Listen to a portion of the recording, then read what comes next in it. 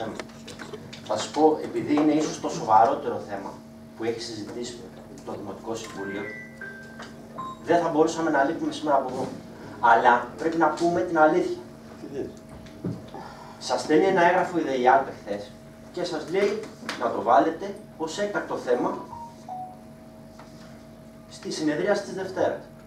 Όπου κοινοποιήθηκε χθες το Διοικητικό Συμβούλιο της ΔΕΙΑΛ μετά από παρέμβαση του εκπροσώπου των εργαζομένων.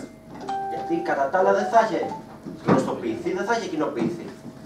Δεν θα πω αν υπήρχαν αντιστάσεις στο να ψηφιστεί και όλα τα προσκόμματα που εμφανίστηκαν χθε, τα πούμε μετά. Και περιμέναμε όλοι να έρθει το θέμα τη Δευτέρα. Και πράγματι έχετε ενημερωθεί γιατί έχει κοινοποιηθεί αυτό το έγγραφο της αποκεντρωμένης διοίκησης Αττικής, της Διεύθυνσης Υδάτων, από τις 17 Τετάρτου. Και το ξέρατε.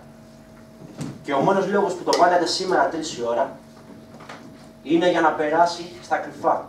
Για, ξέρετε γιατί; Γιατί φοβάστε την καταγραφή. Γιατί φοβάστε τη διαπόμπευση για αυτό το ζήτημα. Αυτός είναι ο μόνος λόγος. Όλα τα άλλα, σαν επιχειρήματα, δεν μπορούν να σταθούν. Είναι Παρασκευή μεσημέρι 3 η ώρα. Αμφιβάλλω αν θα βρείτε κάποιον δικηγόρο σήμερα. Θα το φαίνονται τη Δευτέρα. Από τις 17 Τετάρτου είναι το έγγραφο. Είναι 19 Ιουλίου. Άμα πήγαινε 21 δεν θα άλλαζε τίποτα. Αυτό. Τίποτα άλλο. Αλλά επειδή είναι ιστορική η στιγμή, δεν μπορεί να πει κανείς. Μάλιστα. Ευχαριστώ πολύ.